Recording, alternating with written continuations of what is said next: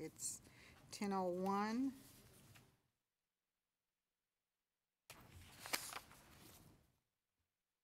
We are, are you going to do an announcement about broadcasting now?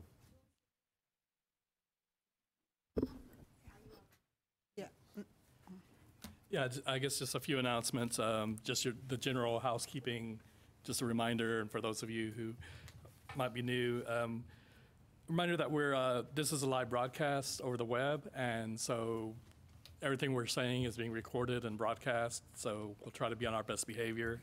Again, um, make sure that when you're speaking, that you press the button on your microphone so that the red light is shining. We can hear you fine in the room, but if you don't have that microphone on, then the broadcast won't be able to hear you. Uh, we do have Wi-Fi, which is Education Go Get It. It doesn't require a password. Uh, restrooms are midway down the hall. There's a sign on the do- on the ceiling pointing to them. We have vending machines at the front of the building, behind the just behind the um, security desk where you came in. There's a room with a kiosk that has uh, chips and drinks there. Um, then I think that's all. Um, we want to start by going around. Generally, start with an introduction, just your name and college. Oh, and one last thing to remind you is that whatever college you're at, just a reminder that this is a statewide um, advisory committee, and so everything we're doing today is for the benefit of the state. So go ahead and start on my left here. Good morning, Cindy Griffith. I serve as the Vice President for Instruction with Alvin Community College. Cindy Kasparis. I'm the Vice President of Academic Affairs at Angelina College. Robin Garrett, the Deputy Chancellor of Academic and Student Success at Central Texas College. Dwayne Shaw, I'm the Dean of Public Services and Industrial Technologies for Kilgore College. And what I didn't mention before, I'm uh, Dwayne Hiller, a program director here at the Coordinating Board and the Academic Quality and Workforce Division. Joyce Williams, Associate Vice Chancellor, Workforce and Community Initiative, Dallas County Community College District. Olga Valerio, El Paso Community College, Dean Advanced Technology Center. Uh, James Chigwin, Tarrant County College Associate Professor, Computer Science and Department Chair.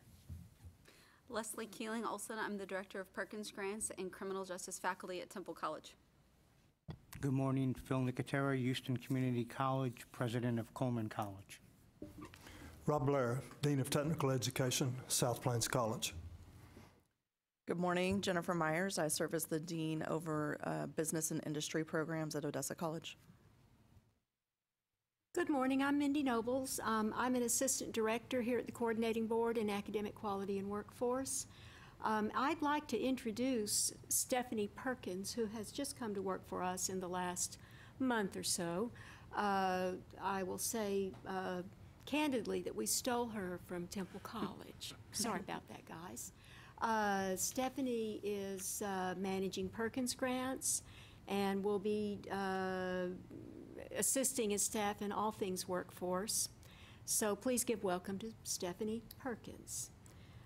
Sherry Rannis on the staff will probably be down later too, uh, so many of you know Sherry. Okay. Good morning. I'm Vernon Hawkins, Associate Vice President for Workforce and Continuing Education at Brookhaven College, and I'm the um, immediate past president for uh, TACE. Thank you, colleagues. And for those of you who are joining us online, thank you as well. We will begin with the minutes from our last session. Madam Chair. Yes, oh, Mary, I. Morning. Thank I was you. just about I to- just- He was just finna tell me who's online. Yes, Mary, This is please. Mary. Mary Adams at Texas State Technical College. Also, I wanted to mention I, I'm connected to the live stream, but I don't see any of the video. Okay, we'll, ch- you don't see, you, you can't see us? No, it's just the, uh, the background screen says waiting for THECB. Okay, thank you, Mary. You're welcome. Is there Thank you. anyone, is there anyone else online?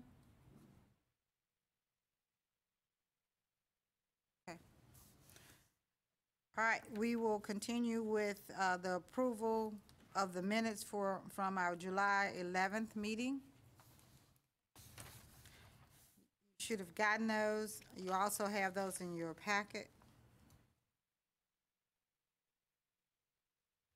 I'm asking for a motion for approval, please. Motion to approve? Been, I second. It's been moved and seconded that the minutes be approved as read. Asking for a vote of aye for those who are approving the motion. Aye. Uh, nay for anyone who has any objection of- of approval of the minutes. Okay, minutes are approved as read. Following the agenda that's in front of you, uh, do we have any public testimony or public comments at this time? Cards. Seen none. Okay. Seeing none, then we'll move on to agenda item number four, coordinating board updates regarding programs of study and CIP code conversion. Uh, Before we start that one, if I could respond to Mary and anyone else uh, who may be watching remotely via uh, phone or, or computer, if you would refresh your screen, you should be able to see the proceedings. Uh, If you logged in while we were still waiting, you may still have uh, that old image. I am told by the technical wizards in the control room. Mary, would you let us know when that, when uh, you can see us? Did you hear? Uh, I did. I refreshed, and no, I still can't see you. I'm going to close the browser and reopen another one, and I'll let you know. Okay, thank you. Thank you. Uh, Agenda item four, coordinating board update regarding programs of study and CIP code conversion. And thank you, Dr. Reynes, for joining us. No Update from- video. Thank you, Mary. You're welcome. Okay, and um, I guess we'll start with the good news. Um, No, yes, there is no bad news. There is no bad news. there's, well, the, the great news. So, um, Information Technology Program of Study Advisory Committee met yesterday, and as we were asking them if they wanted to appoint subcommittees, they kind of had the attitude of, well, why do we need subcommittees? We can do it all ourselves. So we presented the Cloud Computing Program of Study outline that was recommended by the workshop we had early, last June. And after discussing it for a while and looking at it, they said, sure. So the pro, uh, Cloud Computing Program of Study curricula were approved by the Information Technology Program of Study Advisory Committee. And those will go to the coordinating board in the December, January cycle. And we'll hopefully, I mean, they'll go out for public comment first, and then they'll go to the, uh, to the coordinating board for approval in January. So th- that was the first little bit of news. Um, Wait, you got to have us a moment of celebration here. yes. I, just hats off to this, uh, this team, this, this, this team, this advisory committee. Uh, hats off to you. Hats off to James, Robin, Cindy, Cynthia for leading those workshops and facilitating, facilitating those workshops. Hats off to every one of you leaders around the state that did exactly what Dwayne said. You took off your college hat and you put on your state hat and you helped to be able to show that we needed to meet the needs of the businesses within our communities because our, our communities and, and the way we do business is changing, whether it's in small rural areas, whether it's in big metropolitan areas. Cloud is where we're going and where we are. And our students need to be able to do that no matter what zip code they live in. They need to be able to do that. And we, we have stand, we have stood fast to the mission of community colleges and for the purpose of this committee and the leadership that is around this committee. I thank you. I thank you, coordinating board staff, for all that you did, but I also thank the faculty in which all of you represent and uh, uh, push through. Mary, hats off to you at TSTC that helped lead the way uh, with all of your faculty there that have also been pushing this uh, a year ahead of all of us. So I just uh, thank you so much, Dwayne. That was great news. Okay, and also, well, I was also going to extend a thanks to Robin Garrett, who stepped in at the last minute as I was, as we were getting the advisory committee convened, and I remember we needed somebody from the WECM to serve on that committee, and I was frantically calling people, and Robin graciously agreed to serve on that subcommittee, and I think she was also really helpful in getting that helping them to understand the process we went through to get that cloud computing curriculum developed. And I think she was really helpful in getting that pushed through. So That's the leadership we her. got. Th- Thank you, Dwayne. Um, I want, I want to thank this committee, though. I think one of the pivotal points yesterday in that meeting was the fact that this committee had already approved the four new courses and the cha, the cloudifying of the existing courses. Once they saw that we had done that, it eased their mind on some of the, the way the, the courses were aligned in the curriculum. So that move by this committee was very important to the success of yesterday. Now, now that was great news. Thank you. Okay. Could, could I ask for uh, some acknowledgement of Sherry Rannis, who uh, worked with Joyce to put the June workshop together where we hammered out, where participants hammered out uh, the five curricula that were approved yesterday. So I'd just like to give Sherry Rannis acknowledgement and thanks for that. Oh, you know what? That was coming later, but uh, they're hands down, not only acknowledging her, but the organization that she put together for this last, the last workshop, and being able to do the cloud mapping of the curriculum and helping Dwayne with the data and putting the analysis together. We could not have done it without Sherry. And also like to say uh, thanks to Sherry because I was really uh, neck deep in work at that time, and without her help, I'm not sure we would have gotten it done. But I really appreciate her stepping up and helping with that.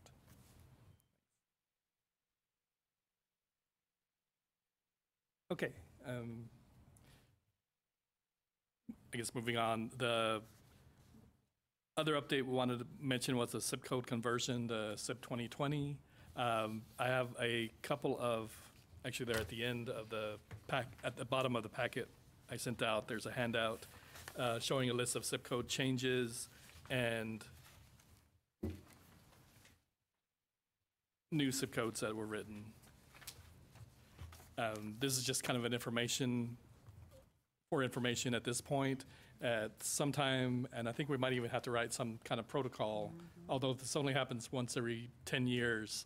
Uh, whenever we have this kind of change, we need to look through the WECM to see if there are any courses that fall under any of these CIP codes that have changed, or especially any of the new CIP codes mm-hmm. uh-huh. that until now we had just put them in the closest CIP code we could find, but now it has in, in many cases, there are new CIP codes that we can use for, you know, more specific um, topics.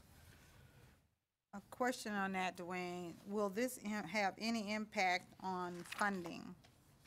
In most of the changes I've seen, it's uh, moving from one six-digit CIP in the same two-digit CIP code to another six-digit CIP in the same two-digit CIP code. And most of the funding is at the two-digit CIP level. So in most cases, there will be no impact on level of funding. Any other questions by any other members on the committee that maybe you can think of now? I'm sure you have some later. But in going through, looking at those, the um, major concern was to make sure that there was do no harm to uh, funding, existing funding. Now, of course, we would love for increase of funding. Of course, that's a much higher level of approval than I can give. Um, Uh, That's all I have, unless you have any questions. If anybody has any questions about coordinating board, um, I, I Dwayne, I do this, Mary. On the CIP codes, is this going to be, I don't know the process uh, for updating them. Is this something that we're going to need to uh, act on individually, or is it uh, THECB that will be updating them? So at, um, as far as the program inventory goes, a coordinating board will be looking at the, especially the CIP codes that are being deleted or moved, and we will make those changes internally. Um, in, like, from my experience from the previous change, is that if a new CIP code was written, it really comes down to whether the college wants to use that new CIP code or continue using the existing CIP code. Um, in many cases, their um, student, what do you call it, student management service program is difficult to make changes to. And there's also the danger of losing historical data if you change the CIP code. So we really leave it up to the institution to decide whether to change to the new CIP code or leave it where it is for, for those reasons. As far as the WECM courses, um, especially if a, and, and again, looking at the table, um, I didn't print out the table of deleted because there are actually only three CIP codes aside from CIP 60. And CIP 60 is like the medical internship or medical residency programs. So I took all of those off of these lists. But of all of the programs that were being deleted, there were only three listed, and none of them are CIP codes we use in the WECM or on the program inventory. But um, as far as changing the WECM courses, that's something we would either need to do as an advisory committee or create a subcommittee to look into those and, you know, again, see what changes need to be made in the WECM inventory. Thank you. So bef- before, as we move forward, uh, what is the wish of this committee? Would you- we like to look at it as a committee as a whole or form a subcommittee to look at whether or not we would um, make those changes, those CIP code changes um, for the courses that are listed in the WECM? What is your wish?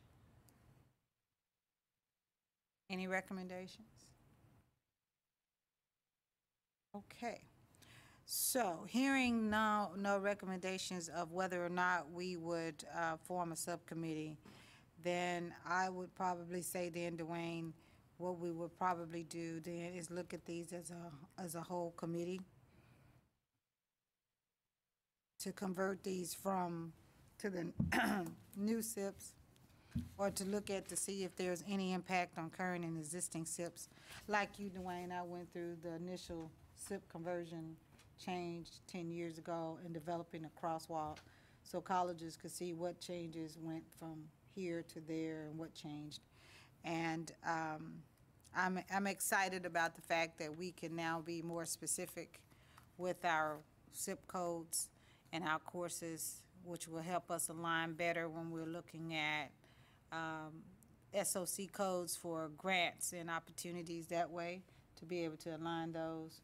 Um, It's a, it's an automatic change on degree plans and all of those things through the coordinating board efforts in which they've done. You guys have done a great job of being able to put this together, and, and so we'll see as we go, go forward. Can I ask a question real quick?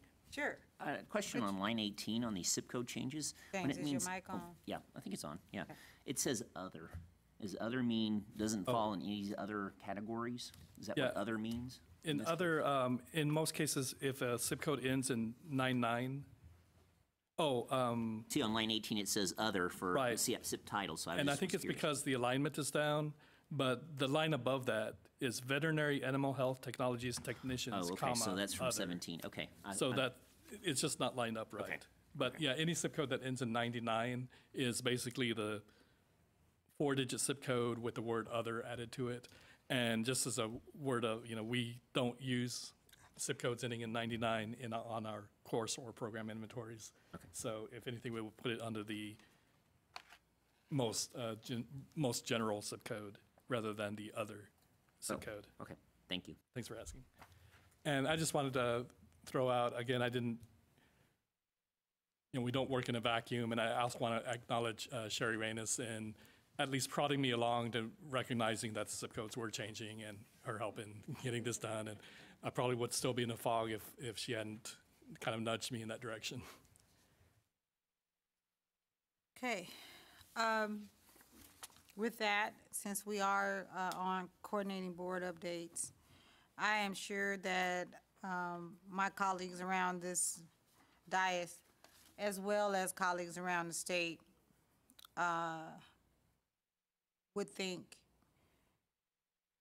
that we would be remiss as a, as a leadership committee of leaders around the around the state for community colleges if we did not acknowledge the loss of one of our great supporters of community colleges that have been with the state of Texas for a long time. And that's Dr. Rex Peoples. And we have lost a, uh, a great advocate and a dear friend. And um, having the opportunity to work with Rex for a number of years, I know the impact that he has had on the state, not only for community colleges, but also for universities. I also know his commitment to uh, workforce education, career and technical education, dual credit, uh, to a number of things that would change student lives. And I'm sure that I join my colleagues around this dais that we will miss him sincerely and um, know how honored we were to know him and to serve with him and to serve beside him on championing those things with the state legislators, with all other government officials, and also university partners um, when it came to career and technical education. So to the coordinating board family and to Rex's family, we just, from us, we want to say thank you for all the services that uh, you all stood beside him and helped him lead. But um, from my heart, I want to say thank you um, for allowing us to be able to have this moment to express those condolences. So, anyone else, uh, of course, you're welcome to make comments, public comments. Yeah, thanks, Joyce. And you know, the staff, we're still kind of in shock over the, the events and what happens, uh, what, where we go from here.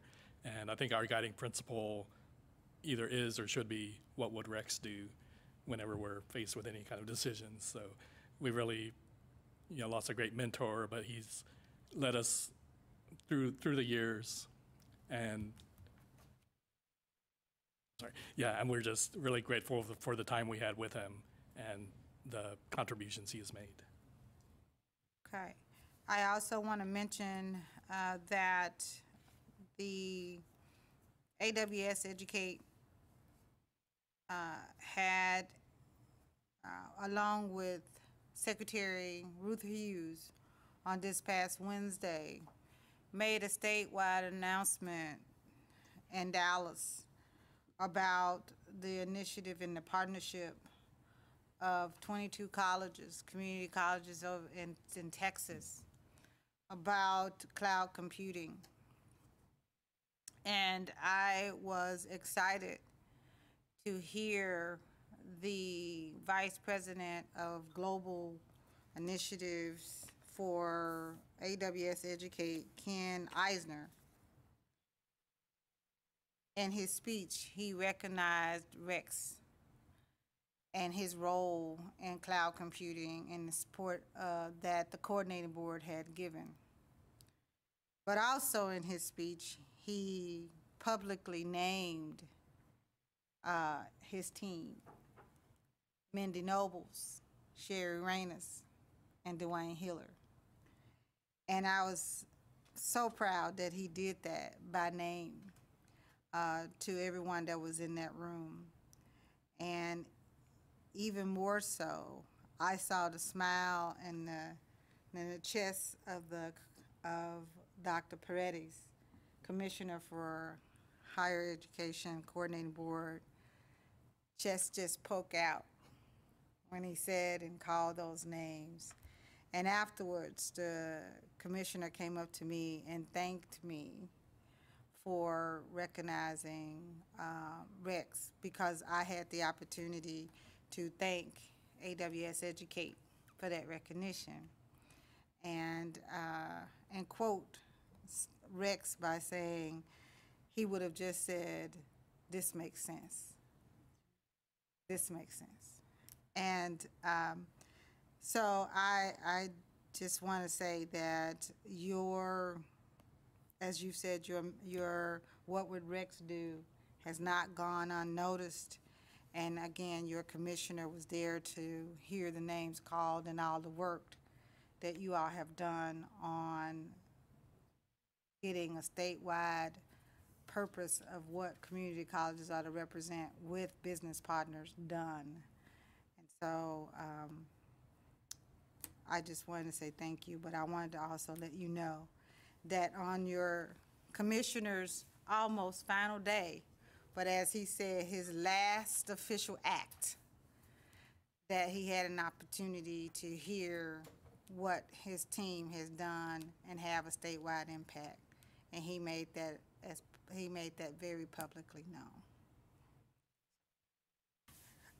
So moving on from. Uh, Before we move on, Sorry. uh, let us not uh, leave this moment without acknowledging uh, Dr. Joyce Williams' initiative in uh, moving forward the entire cloud computing uh, curriculum development uh, process. You got the right people in touch, Joyce. You shepherded this initiative through um, the state's higher education bureaucracy, as it were, uh, to bring this to fruition.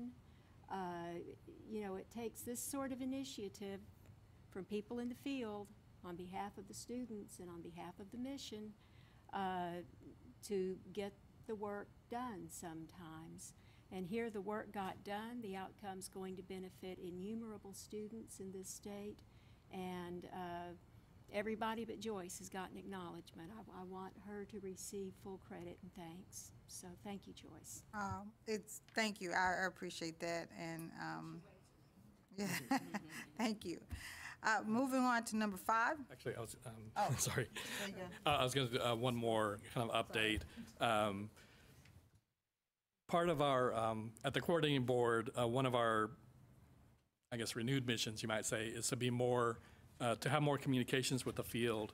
And I have an example of uh, email or a letter through Gov Delivery that was sent out um, a couple of weeks ago um, for workforce education course manual course reviews. Uh, This is uh, similar to the letter that generally goes out in, in the spring, uh, prompting or hoping to prompt colleges to submit WECM comments for, for the advisory committee to review.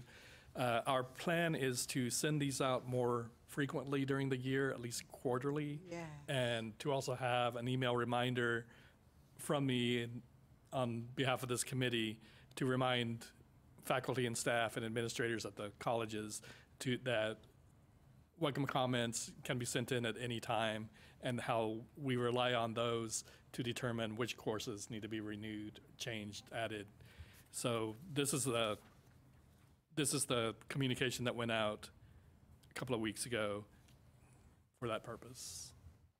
Well, I think that's exciting because we do need to have the field to send in more triggers um, for WECM changes that will be able to get to this committee because we've had concerns that we have not been getting enough.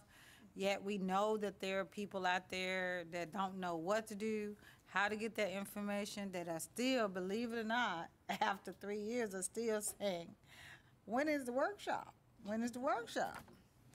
And uh, so being able to, to have this go out more frequently gives them an opportunity to remember that they have a voice, and it is their voice in this process that actually changes the courses in the WECM. Not someone who's sitting behind a desk that says this thing should change. It is their voice that triggers these changes and that they hear from businesses. Yes, Rob? Um, Yeah, uh, as a matter of fact, yesterday, one of the members of the Program of Study Committee was, was um, reiterating the urgency for the Cisco, upcoming Cisco changes. And I recommended to him to submit a WECM comment, and he immediately did. So that's one of the things that, as we go through the rest of our agenda and we talk about some of the uh, triggers and workshops, we need to take that into consideration and, and figure out a way to review those comments regularly. I agree. Thank you, Robin. That's what I just mentioned to Dwayne. I knew that was coming. Thanks. Uh, the, our, depl- our plan is to send out a quarterly reminder to submit comments uh, about a month before uh, each WECA meeting. So we'll continue to get this message out as we move forward. Okay. Now can I go to number five? I see, seeing no objections. So we'll have professional organization updates. Taste, TACTE, and TACRAO at this point. Uh, We have Vernon that's representing Taste. And I, I know we don't have the TACTE representative, but we have the next best thing, which is his current sitting president of the association. So she can also give us an update if she would. So why don't we start with you, Mr. Hawkins? Um, you know, I'm- I don't want to sound re- repetitive, but uh, my, my, part of my uh, update is the same thing I said with a few uh, last time about, about the spring conference. You know, it's what TASTE, one of the big things that we, you know, probably 50% to 70% of what we do is, is development of, of our staffs around the state. And so the conference is a big, major uh, uh, emphasis for us. So this year, as a matter of fact, it's the 40th anniversary of TASTE. And so this is a big celebration we're going to have in April. Uh, the theme is 40 years of continuing, continuing excellence, 40 years of continuing excellence. excellence. It'll be at the uh, Austin Omni South Park. Uh, this year, for those who have come and have sent uh, people from your institutions, uh, we, we've for a number of years, we've been, uh, the conference has been Tuesday, Wednesday, Thursday. This year, we're going back to the Wednesday, Thursday, Friday schedule. So I believe last, uh, the last time we met, I gave the dates as 14 through 16, but it's actually 15 through 17th of April, April 15th through 17th. Uh, and I think the interesting thing about the conference this year is, is uh, we've been talking about major themes, and we're, we're uh, in a few uh, days we'll be open, opening up for uh, um, constituents to send in uh, breakout session ideas. But interesting, what, what people have called in already and asked th- that they want to do, it seems that this year may be a lot more of um, taste, and the breakout sessions will be more, I think, uh, for lack of a better term, a social bent. Uh, things that are that are coming in are, in fact, one of the, the speakers that, that we have who, uh, if schedule permitting, is going to talk about community college uh, as a catalyst uh, to uh, affect poverty in, in, in a community and dealing with homeless and the lack of jobs and economic development. How continuing education or non-credit programs can work uh, across the state in order to alleviate uh, uh, these particular areas. Uh, and I think that's something, I don't say new, but, but definitely to have that as a major theme is, is a little bit different for us. Uh, of course, uh, again, we, we have a number of people that want to do presentations, as, and, and we welcome them on fostering leadership for those those um, staff who want to go into the non-credit area, uh, the, the, the continuing education and workforce development area. Of course, always we're, we're looking for best practices in ABE, and I think some of the, uh, the major term, uh, theme that we're seeing coming across from some of the comments are uh, non-credit to credit pathways and articulation agreements. So I think this is going to be a very, very uh, interesting uh, conference with a number of interesting breakout sessions. Uh, we'll, we'll continue to be working on that, and uh, you know, as this, this, I think that the the major schedule will be done in the next month or so for the April conference. So we're a little, little ahead of schedule. I'm glad this year. Uh, so that's the first one. Number number two uh, is kind of an update. Is that we're we're uh, working on the local need and special topic course review. Uh, and we've committed, uh, it's almost like herding cats sometimes. We uh, have committed to a November 1st deadline to get those uh, done and back uh, to this committee. So I just wanted to let you know, we haven't forgotten you. I think that uh, uh, we- I still have some work to do with Dwayne on, on that issue, but we have committed the group, and this is the Board of Taste, that we would review all local needs and special topics by November 1. So we have that commitment. The, uh, one of the things, and everyone mentioned Rex, but I, I still remember one of the last times I, I talked to him, and one of the things wa- was at the conference last year, and he, he and I and Jacob Fair from TACT uh, had a conversation, and Jacob was saying he wanted better data about um, uh, training that was leading to jobs, and we can get it from the credit side, but you know, it's really kind of hard to get it from the non-credit side, and, and, and how are institutions doing that? And I, and I remember Rex, of course, turned to Dwayne and said, well, we can pull that, we can get that. So, and, and I had that on my, my list, you know, it's funny how things work, that, that, that the, the group at our last meeting three weeks ago said, we need to start getting back on that topic.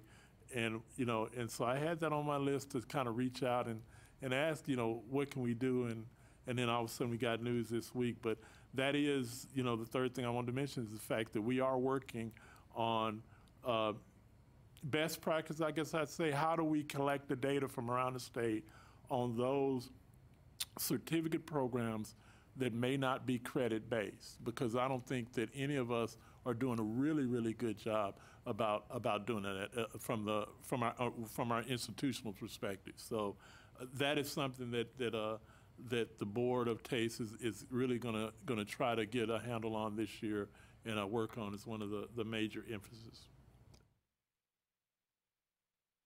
Okay, And I think that's all I have on that for now. thank you. Uh, Ms. Hawkins? Leslie?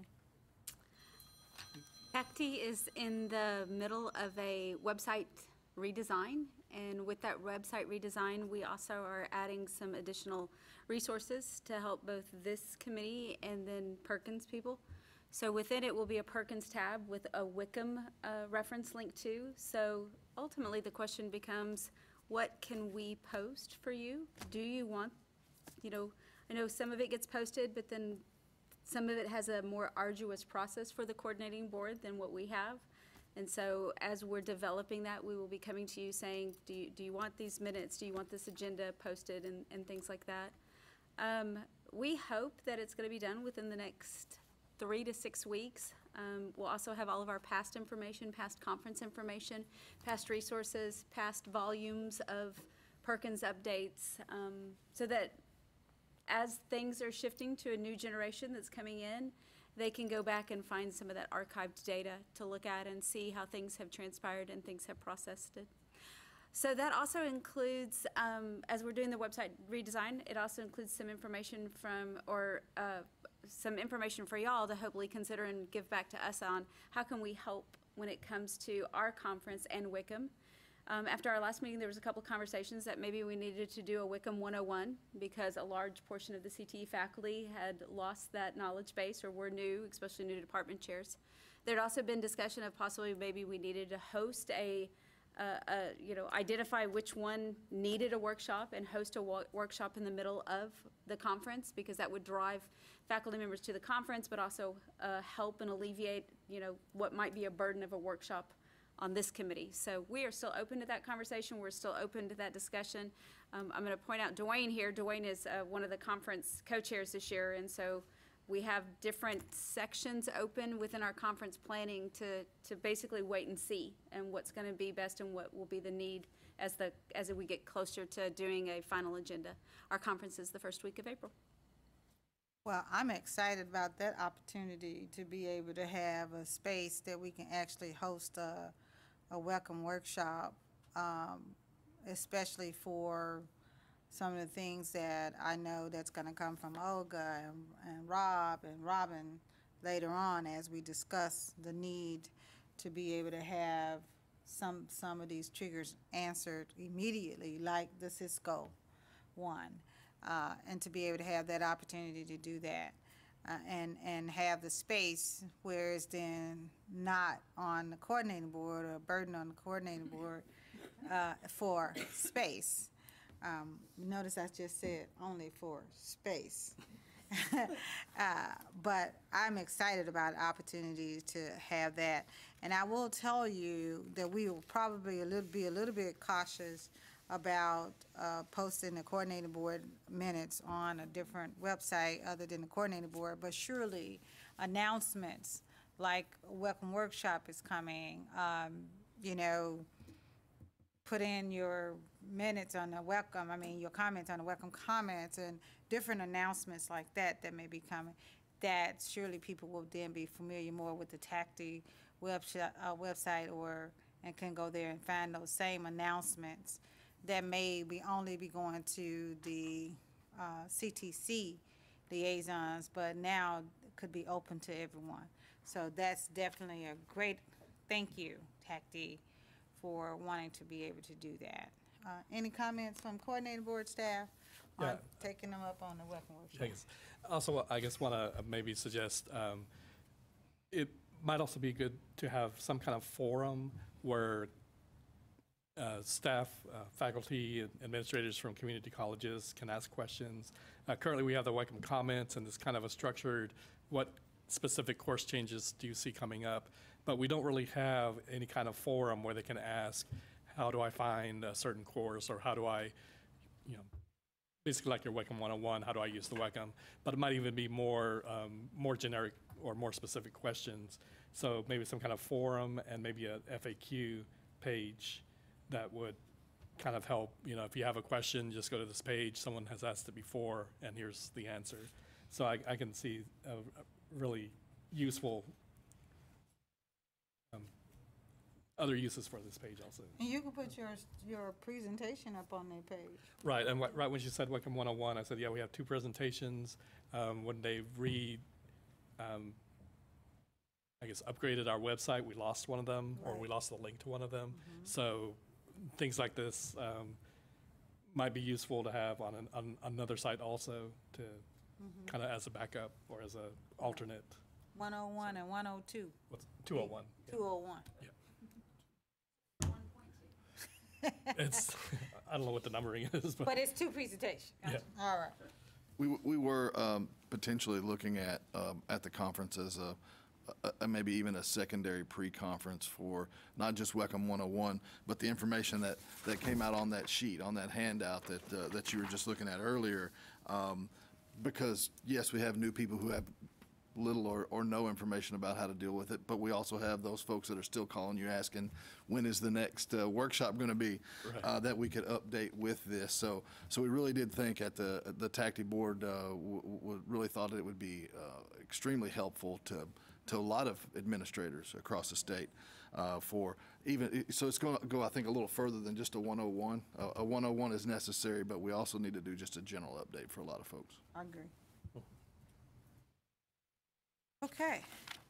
I'm sorry, uh, while we're in between, um, just had one more uh, housekeeping that I forgot to mention earlier. So if you have the envelope with your lunch money, uh, could you go ahead and pass that down to the, I guess, to the far end of the table, and Valerie will come pick those up, I guess. T- toward that end, yeah. Uh, to, no, no, just to the end of the. So she.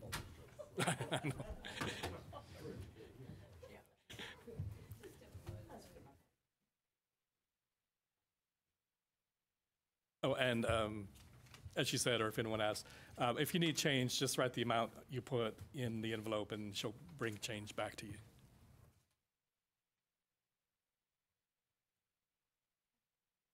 Okay, thanks. All right. Uh, Item number six on our agenda, report from special topics and local need course review subcommittees. Uh, We got several uh, committees that are kind of working in conjunction on some of this. If you read your minutes, we got a- uh, several people volunteered to be part of some subcommittees. Vernon has already given us an update on the CE. Uh, So we have Rob, who was working on some other things on special topics in this, this summer. Robin, of course, is basically leading the whole WECM protocol manual, which then kind of involves uh, special topics and, and uh, reviewing of local needs, so it's, so we're trying to make sure that there's a balance.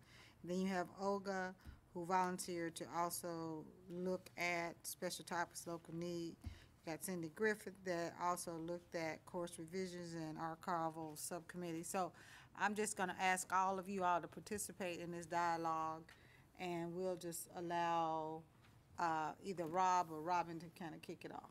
And if I may, um, I know you didn't say I could, but um, So Dwayne is just inserting the coordinating board thing. Please go Right. ahead, Dwayne. I just wanted to. I was um, going to defer to him anyway.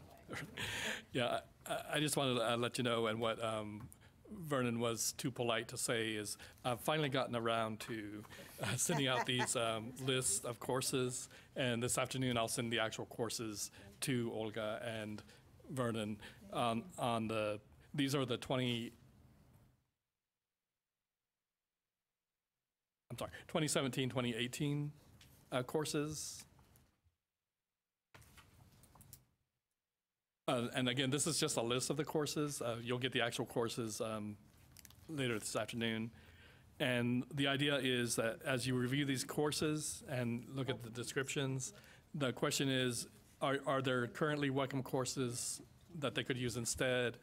Do the current WECM courses, maybe they have a different uh, contact hour range that doesn't allow, you know, if we expanded the contact hour range, maybe they could use that course instead of writing a local need course. Um, Other, you know, questions will be, is it a valid workforce course? If not, we need to let the college know that they need to either emphasize the workforce nature of the course or not report it for funding. Um, So this is kind of the worksheet that they'll be working on. Uh, The other option, if you see several courses that, you know, might be at the same topic from different colleges, then that might be a trigger for uh, either course review or to add new courses. Or I think the committee before has gone ahead and just combined all of those local need courses into one course and added it to the WECM, again, with the advisory committee's approval. Uh, Dwayne, just as a perusal through some of these, I see that there's a lot of, well, several, I wouldn't say a lot, because these are hundreds, so I won't say a lot. But there are several courses being submitted as two credit hour courses that currently already exist in the WECM as three and four credit hour. And I know at one point in time, historically, and I'm only talking historically, we had gone through and had the field come in and look at those two credit hour courses. And most of the two credit hour courses were deleted from the WECM. I do see a number of courses that have been submitted, especially as local need courses, that currently already exist as three credit hours. And so it feels like they're wanting to just use a two credit hour version of an existing three credit hour version. Uh, I'm not sure how that's triggered, whether, where- whether when they give those comments, is it because of industry saying, hey, we now are industry standards or accreditation changes that have now reduced those hours? Or did the college just has a preference of, of teaching a two-hour because the three-hour doesn't work for them, but other people in the state are teaching the three-hour? So I, I want to know Robin and um, Dwayne and I, and I say that that because I don't know if there was, a- is there a protocol? You guys know the protocol off the top of your head. And whether there was a protocol written to address that and how we would address that as new people around are reading this. And also an opportunity for those who are listening to us who may have submitted local needs for two credit hours when a three credit hour already exists.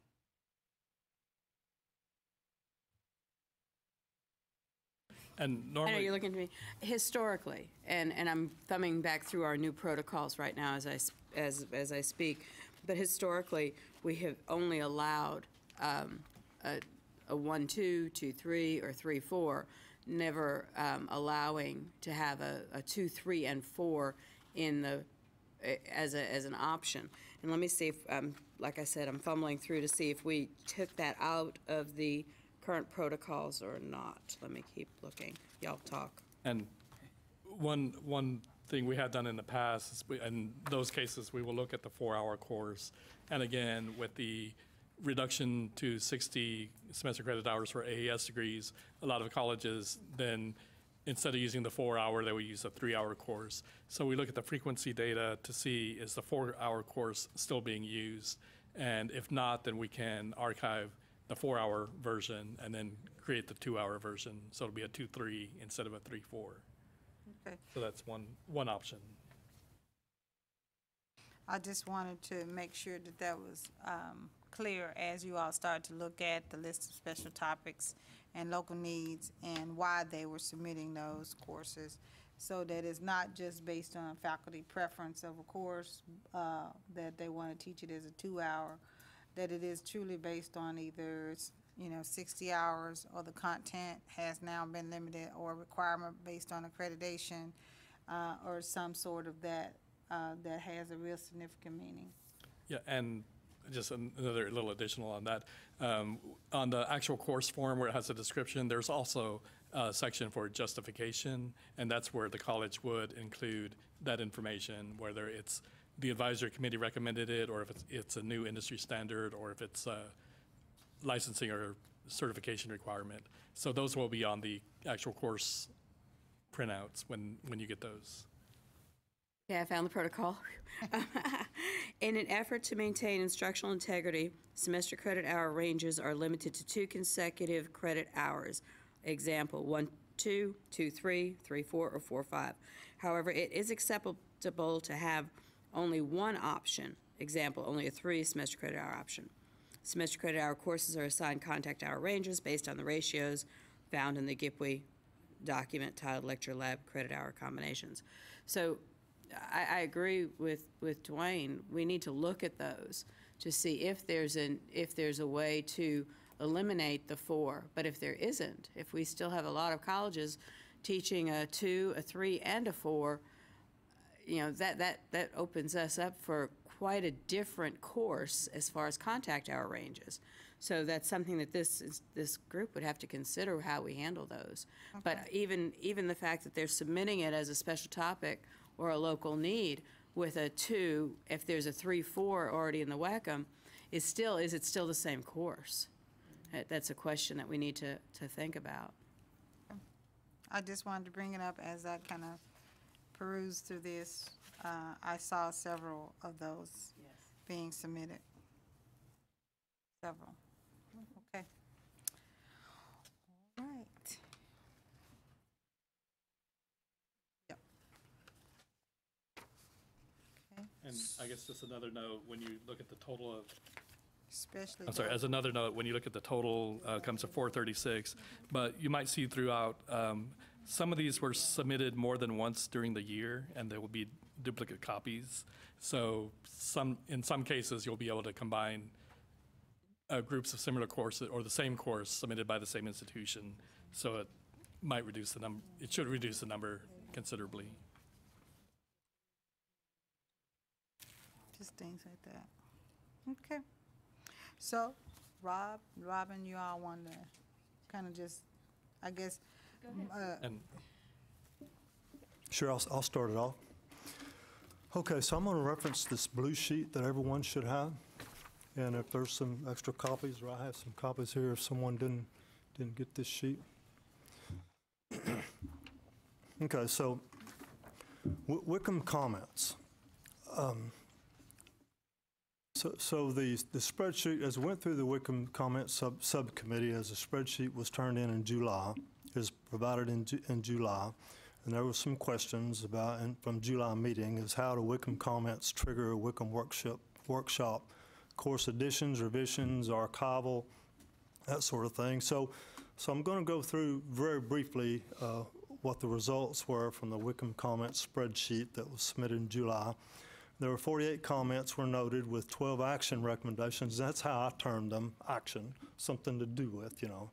So, so those first three bullets are recommendations of a WECM workshop. There were seven that subcommittee came up with. Uh, New college, new course is recommended, there were three. And the, and the other was some, some information that was, that was us, that the coordinating board, Dwayne, needed to provide to a college, because they had some questions while some courses were archived. And then, a and the creation of the HITT 2330 and 2340 course, which in my mind was a pilot. You tell me if in history, if there was something like that, but we, we initiated a pilot uh, of developing a new course that I'll go over in just a moment. So those remaining 36 consisted of those following bullets. That's how, that's how they were, they were categorized. And uh, a recommendation of, a- of local needs, special topics, and just further review, and then additional information, uh, accreditation standard notices that, that, two of them that were provided. Does not meet WECM course guidelines, uh, no action required, recommendation of CIP rubric that looks like it's going to be handled through, through the new, new CIP web, new CIP 2020, uh, and continuation of, of above comment that was, comment that was part of another of a submission. So the rest of this, following the second half of that page, is just my perspective as, as I went through this process and, and just some ideas that I'm throwing out there, some suggestions, something to consider. So as, as I developed this process, thought about this process, then I started with a spreadsheet, and then, of course, I, I went to South Plains College IS to try to figure out, you know, if there's a better way to do that. I was probably further along in the, in the process the, to change. So, so I kept with the spreadsheet and I categorized those spreadsheets, formulated some drop-down boxes, sent them out to the subcommittee. We reviewed them individually, put some notes in it, sent it back I compile that evidence, compile those results, and that's that top, top, top, top paragraph that I just talked about. But as I went through this process, uh, I began to realize, um, and to my knowledge, there was only one thing that happened with all that, all that information at this point in time. Well, the cloud, there was one, rec- there was one comment about cloud computing, uh, but, but outside of that, the, the course creation of the HITT course, uh, that's what I know at this point in time, to my knowledge, that anything came of all of these, these, these comments. So, so as I thought about this process, I, I thought, well, uh, this WECM comment template uh, that, and this, this, this from, from Dr. Peebles threw a wrench into my, into my presentation today, but, you know, things can always be improved. So this was just, this was just ideas. So uh, as uh, I thought about this WECM comment template and results spreadsheet, I thought, well, could that be revised and used as an instrument to distribute WECM comments to various subcommittees uh, through recommendations to, through WECM comment recommendations to, a- to the appropriate subcommittees that were, again, developed, that are in the Pro- WECM Protocol Manual that were developed with co-chairs last July. So I thought, well, that, could that be the, the instrument that distributes all these different types of, of comments or recommendations from the comments to the right parties instead of just being in one solid list for everyone to look at. So that's been my thought. So I, I went back and I, and I took these comments that we originally started with, and all the regular comments that we originally started with, and I recategorized those to those bullets that are following on this second. So I said that if process applied to previous 48 WECM comments, the estimated results would have been the following. And so I'm looking at those first five bullets, and the first four are the subcommittees that were developed last July. And then the, and the fifth one is, is a recommendation of WECM workshops that would come to this, directly to this committee, is what I'm thinking. You know, this could always all be revised, just an idea, just a suggestion. So the, so the, uh, the, so there was, out of the 48, that's how many recommendations, it would have gone from 10 recommendations from that further review to 18 to the, to the course revision and archive subcommittee, seven to credit special topics, uh, four to non-credit, uh, no, none to the professional development, which, which those last two are under one co-chair, and then, and seven of the WECM Workshop recommendations. And then those last three bullets would have been one course recommendation, which, which was processed, and, and no action required, which I will combine some of those, which would have been six, and then, and then uh, additional information needed from submitter. They just didn't provide enough information to do anything with. You know, it was just, I don't want to use the term vent, but it it was just talk, you know? Uh, not, not thorough, not concise, not clear, just, just talk. Okay, so, so I have a, I do have a question to consider based on that process, and, and I, so electronic process or manual? So I got to thinking, well, could this WECM comment, could it be automated to route comments to appropriate subcommittees? And maybe this is a future question. Could it be, and Wayne's the guru of all those systems, but could it be revised to where as a person filled out these comments and they, and they chose the appropriate boxes, then it would go to these, automatically go to these different committees instead of a WECM comment subcommittee evaluating them and distributing them out. That's, that's my question, just a, just a thought. On that back page, uh, and I'm going to go back to the new course recommendation on that back page is, is that HI double, HI double T 2330 course that was, that was uh, created. And in this scenario, the number of participating colleges included were 12. So originally it was six, but the final report I got, that 12 colleges, this, this creation of this course, from a local needs course to a WECM course, was going to affect 12 colleges. Well, that's pretty substantial in my mind. So the question is, uh, in my mind, is what is the participating college number in order to trigger a, a new course? You know, how, how many colleges does a recommendation of a new course need to affect before it's taken seriously? So the new course recommendation process, as, as Joyce and I and- and Dwayne, as we, as we took, when this course came up, so I just kind of bulleted one through six. There are three terms to be revised as needed, and you see those, you see that process. And to my knowledge, Wayne, that's, that's how that course happened, to my, my knowledge, okay? So I was just, I was just, as I was thinking through those processes, when we came up with this pilot, and I'm calling it a pilot because I don't know if it existed before. So there's the six, six criteria or, or six, yeah, criteria that that process followed. Okay, so that, that's where it stands as now, to be revised as needed, however, if, if the pilot is to continue. But I thought it was, I thought it was pretty good. Joyce, Joyce initiated that, but I thought it was pretty good, and it certainly affected enough colleges to carry through with. So at least, at least something happened with that, out of all of this, you know, there was a good action item and something happened with it. All right, so, so I'm going to move on to these, the other question was WECM Workshop triggers. So those previous seven recommendations out of, out of the 48 that we talked, comments that we talked about, then that's, they're, uh, they're listed there. And that was the previous, seven previous recommendations. So as results, to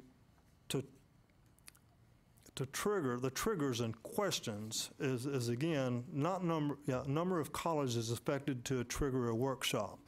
A- And the reason that I say that is on number, it's the horology, where is that at? That's number three. So that number three, jewelry to jewelry arts, uh, outdated CIP, uh, horology, uh, proposed college teaching all local needs courses. So the person that submitted this, I think it is from Alvin Community College, ACC, either Alvin or Austin, I guess, one of the two, is, I think it's Alvin, that, I think Austin, Austin has the jewelry. was it Austin? Okay, all right, so, all right, so, so Austin Community College and I think Paris Junior College, the person from ACC that submitted this talked about there's only one, o- there's only two jewelry programs in the state of Texas, what I understood. So, well, is that enough to have, is that enough colleges to have a WECM workshop? to me, I think those two colleges get together and, and work it out, That is a know? model. Yeah. You're right. We Yeah. do that. So, so that's the reason I asked that question, how many colleges are needed, you know, or are affected in order to, uh, to, to initiate a trigger? So, out of those, so back to the question, what triggers a WECM workshop? So out of those seven, the first two, the one, in- I'm sorry, the one and three is, is what I categorized out of those seven. So out of those seven, um, either emergency industries were uh, needed in WECM inventory, some kind of new innovative program is needed. Or number three, modernizing, I use that term, moder, modernizing technology, and I'll just simply slang it as course descriptions and outcomes no longer current with, with industry, needed to be updated. Now, out of those seven, it's my perspective that those two criteria were used to identify workshop trigger. Now, there were some accreditation requirements. Uh, one was, I think, Surge Tech, and one was criminal justice, but didn't. But neither one of those were used to initiate a, a WECM workshop based on committee. I, I know that law enforcement, you know, one of them was law enforcement. That's academy, and it's not. It's not. The workshop is not needed uh, based on the new criteria with with uh, with a TCOLE. So but, but, you know, but that's just me. I just, I knew that, and that's just me. So, so there's got to be some thought. So maybe the automation process doesn't work because it's got to have some thought, some thought to go along with some of these. So, so anyway, so I left that four, five, six, seven, eight blank because I'm not sure at this point in time what what else would trigger a WECM workshop. I know there's some good ideas probably floating around in this room at this point in time that could fill in those blanks, but, yep, Protocol 30301 lists 10 triggers of WECM workshops. We've already established the triggers Okay. of WECM workshops. So in Protocol 0301, which we voted on and, uh, in May to finalize, there are 10 triggers of it. It's a matter of how we handle the triggers once they've been triggered. okay, all right, good enough. Well, then, then that's, well, that's all that's blank then, right? Okay, so, uh, uh, one thing that um, Mindy stated in a July meeting was, was that, um, that WECM comments were open to everyone. A- And I, and, and Mindy stated that she, she was in favor of, of, of institutions signing off and approving. And, and I guess the reason that I'll say that is because a, lot of the comments that we received, you know, the, eh, well, let me back up. I, I don't want to say it that way.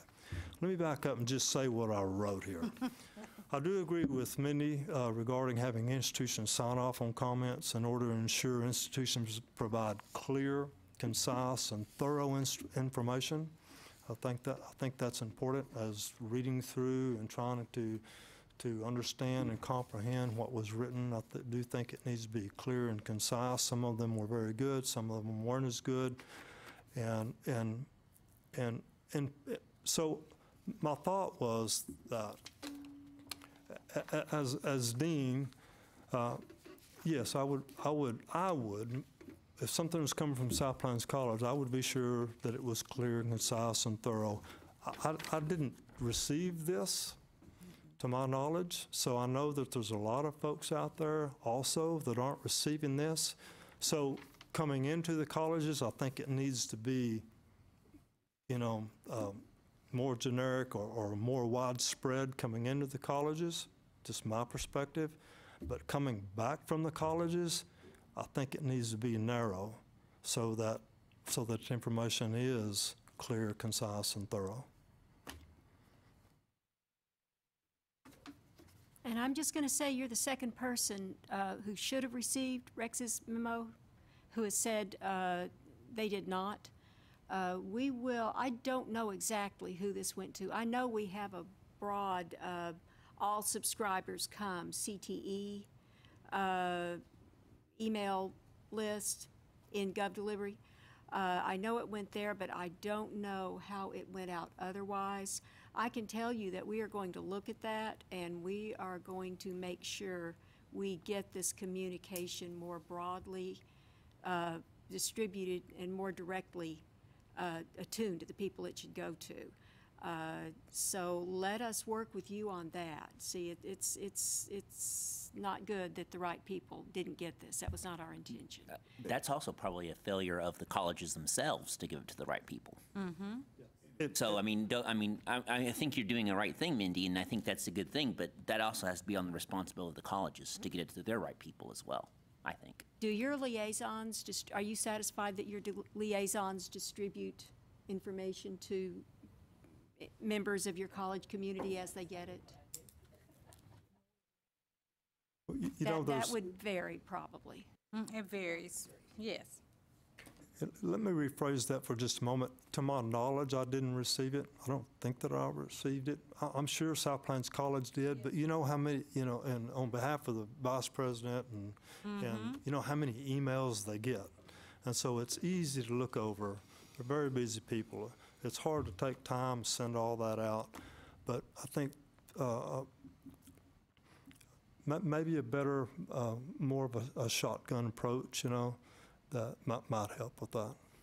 I think broadly inclusive is the goal. Uh, We just want to make sure that we don't miss entire groups of people in that broad inclusion. And Dwayne, I wonder why we wouldn't co- copy the WECM Committee on any mail-out. Uh, That would probably be a good thing to do to make sure this committee does see those mail-outs when they go. And we've talked about doing a follow-up mail-out to Rex's uh, recent memo, uh, just reiterating and establishing that in the future, we will send out calls for comments about a month before every WECM quarterly meeting. And we will make certain that this committee gets that follow-up mailing to the field. Madam Chair? Yes, yes, Mary. No, it's, it's Cindy. Oh, it's Cindy. Oh. Mindy, might I make a, might I make a suggestion that um, the CAO meeting that's coming up here at the coordinating board at the end of October, that that be on the agenda to speak with the, as a reminder to the CAOs that when they receive that, that they are sure to share it with their faculty. I agree, Thank you, Cindy. So noted. I agree. Thank you, Cindy. Rob, are you finished? You got some more? Yeah, no, I'm thinking about where these triggers Oh, okay. You did a, 301. you did a great job, Ro- Rob, very thorough, very thorough. I, I know that, Robin, you have some answers probably to some of these things about the smaller workshops that are triggered that, you know, go ahead. Okay. Um, Thank you, Rob, for, for compiling this. I think it- it's very good, and I think we should probably take some action and make some recommendations based on your data and the information that you provided. For instance, um, the horology, the jewelry making. Um, We have a protocol two that says um, a Model Two process, a model uh, protocol, I mean, involves colleges that offer similar courses to convene instructional specialists for cooperative collaboration, networking, and production of new WECM courses. And- Or, and really, that, we probably should add that because it, oh, it does say, these courses may be submitted to the WECM Advisory Committee for review and recommendations of appropriate subcommittee. Um, But also modification, because just because um, one college submitted a lot of local needs, that doesn't necessarily mean that an existing course couldn't be tweaked with the, the- with the colleges that are um, offering that agreement. They come together, they agree on this, and they submit the results to us for approval to be put in the WECM. So I think uh, notification of the two schools, Paris and Austin, that they could hold a workshop under Model 2 themselves is appropriate. And this, the- I guess this committee would tell them to do that. Um, However, a larger type program like marketing, I wouldn't advocate for a Model 2 to be handled locally by a couple of colleges when you have a large um, field like marketing. That is something that should be organized by the coordinating board to call, do a call out for instructional specialists. And just this week, um, Mindy Dwayne and I met about a possible process for, for that. And it looks very similar to how um, the coordinating board handles doing a call out for instructional specialists for both the ACGM and the programs of study. What we discussed this week, and correct me if I'm wrong, Mindy and Dwayne, but that's kind of what we, we talked about, right?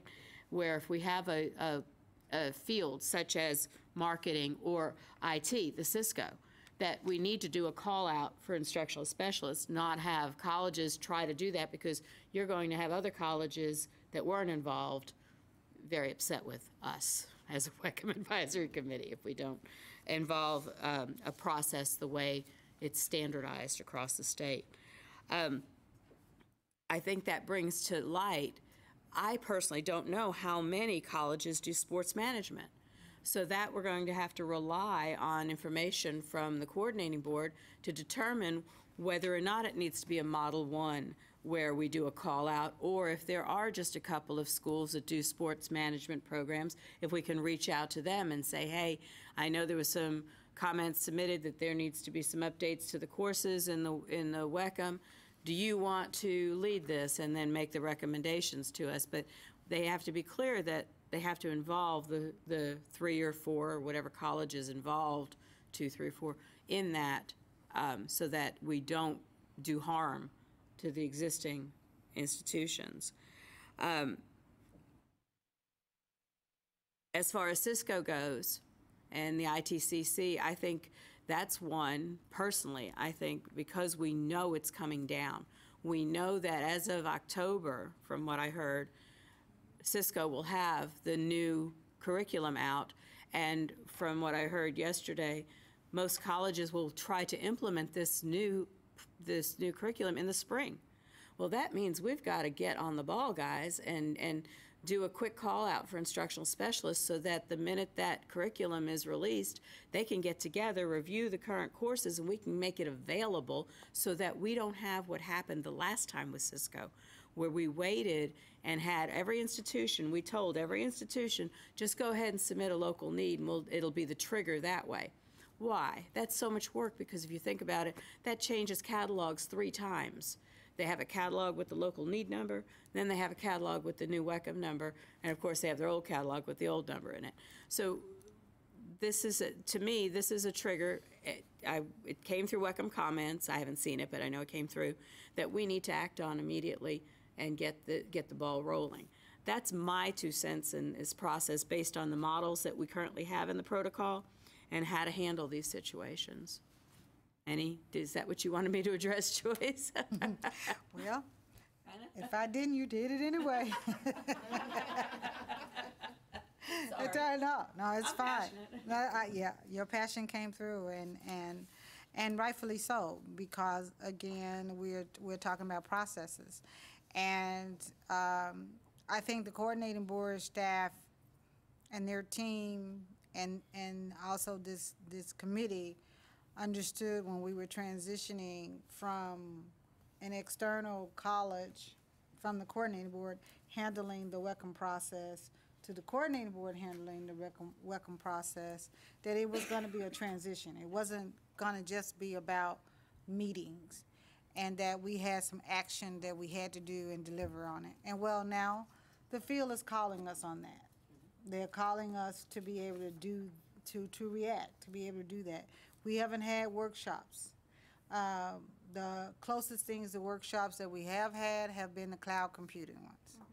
And so it is time for us to, as we say, we're representing the field, we're representing a process they expect us to be able to respond to the triggers that we have, and we need to be responsive to that. So, um, I'm not gonna put the coordinating board staff on, on the spot right now, but I will say that, um, maybe that is something that we could look at, especially for Cisco that's coming up. Something very similar to what we did with the cloud computing. And, uh, I don't wanna put Sherry and Dwayne, um, on notice or blast here because they reacted very quickly and swiftly, which shows that the coordinating board can do that because they do have dedicated staff and committed staff that have the ability to do that. But there are a lot of other things on, their agenda They've, they've lost a key leader in their organization. They're trying to reorganize that. They have a new commissioner coming on in the next week. And so there's a lot of other things that are happening with their agency as well. So if we are, as the WECM Advisory Committee, are asking them to move swiftly on this, we also, uh, as leaders around this team, around this table, have to also step up to the plate and volunteer our services as well, uh, because of all the things that they will need to, as a team, to be adjusting to. So, um, if you all would get back with us to let us know if this is something that, another rabbit you can pull out of the hat to address the needs that we know that are coming, because um, Cisco does have an impact on lots of programs and several colleges around the state. It is not something that is small, that is, you know, just among 10 colleges, but it's a huge impact. And so I hear my colleagues around the table silently shaking their heads that they will be um, willing to step up to the plate and also help with this, um, help you put on this workshop. And um, I'm going to respond by uh, stating first, I see the urgency of the Cisco uh, situation. Uh, I'm going to ask Dwayne if we sent out a call for nominations, would it be possible to convene um, a workshop, say, in November? How would that timeline be? I go have to look at the schedule and see how many responses we get, but theoretically, it could be done Okay. by November. Okay. Uh, We will initiate a call for workshop participants. We will work with uh, the committee to, you know, see how many we get. Uh, We will see what we can schedule, and hopefully, we can do this during the fall. It will be dependent upon field response, but I suspect it will be good. Okay. Mindy, are you referencing Cisco? Yes, I'm sorry. Yes, the Ci- the Cisco situation, yes. All right, Rob, I'm checking little things off your list as we try to, as you said, um, as things are submitted, we just don't get them and they sit there. What's been actually done based on the WECM comments that are coming in? What are being, what's been done with the comments? So, thank you. So, um, I think Dwayne also, for lack of a better term, let a lot of you off the hook with your reports today by stepping up and saying he actually hadn't given you the information, so you can't have reports. Uh, Cindy, Hey, hey, Cynthia, do you can- have anything? Can I just say very quickly, that's just typical Dwayne. He's good help, isn't he? I do not, Madam Chair, but I do appreciate Dwayne for allowing us to defer to him. Olga, do you have anything? No. Okay, okay, okay, well, with that, as Dwayne has stated that he will provide you all this huge list of information, um, for your committees to actually go through, and there is a special topics list and a, and a local needs list for both CE and, uh, the credit CTE courses that are there. Okay. All right, staying in tune with the agenda, it is now eleven twenty-four. Um, we are going to do number se, I think we have enough time for, we almost have almost done number seven, but I, so I know that Robin may have a few more things to add. So, number seven, report from WECM Protocol Subcommittee on Course Review Workshop Schedule. I'm going to try to tone down my passion. Um, uh, We, we approved our protocols, first of all, um, at our last meeting, so there was no updates or changes to the protocol. Um, I've already mentioned that based on um, a a workshop schedule that, that I did meet with Mindy and Dwayne, and um, the, the results of, of that meeting were great. I mean, they, they, they understood that there was going to be a need to have workshops. And Mindy, you were going to do a little bit of research on a topic that I don't know if I should even bring up, but if there's any funding or not. And um, I, I don't know if you were able to do that in, in a day, but if you haven't, that's fine. I understand completely. Uh, Let me respond to that, Robin. I did check into that. Oh. Uh, The agency supports attendance uh, to the uh, learning outcomes workshops that uh, go with the ACGM process. Uh, It will, in like manner, support uh, the cost of participating in the uh, WECM workshops. Uh, These will come out of Perkins admin funds. Good. Okay. okay. So in, in what would it be, the instructional specialists, or what, what way would it be supporting it? We haven't worked out those details. This is new ground. Okay, uh, great. But it should work equivalently with the uh, learning outcomes work groups. Thank you. Or um, ACGM. Did you have, did you have a question or concern? Rob, you got a question? You got a question, Rob? Do you have a question? Okay, all right. You looked like you were about to Yeah, he speak. I wanted to did. give you the did. opportunity. Thank you very much for finding that out, Mindy. I appreciate it. Appreciate that. Um, The, um, I have so many pieces of paper out here. The other thing we, we looked at, um, we were talking about the triggers, and um, bottom line, uh, all of the triggers that were listed can be um, brought to light through WECM comments or through what we talked about, um, conversations, just like you had with the cloud computing professionals, uh, Madam Chair. So, and then you brought that forward to the, the coordinating board and moved forward that way. So every single one of the 10 that are on that list, even if someone has the, the need, a WECM comment would be appropriate. Um, I think, as, as Rob mentioned, however, we need to formalize the process of WECM comments in order to be able to act on those um, statements. Additionally, when I was looking at the WECM comments that came through, and then today, when we got the list of the local need and special topics, they also intertwine and relate directly. So when you have a subcommittee looking at the special topic and local need, and you have a subcommittee looking at the comments, those two are going to have to come together as well, because more than likely, if an institution submitted a special topic or local need, they most likely submitted a WECM comment also. So they're going to be overlapping, and it'll just help reinforce the need for that sort of a workshop. Um, I'd like to see this committee take a, take a look at the, the ones that came from the comments and, and decide for moving forward whether or not we want to con, uh, have a call for instructional specialists for some of the wider areas if possible. And then, and, and decide if we're going to approach Austin and um, Paris about doing the jewelry one. Is that a recommendation? That's a recommendation, yes.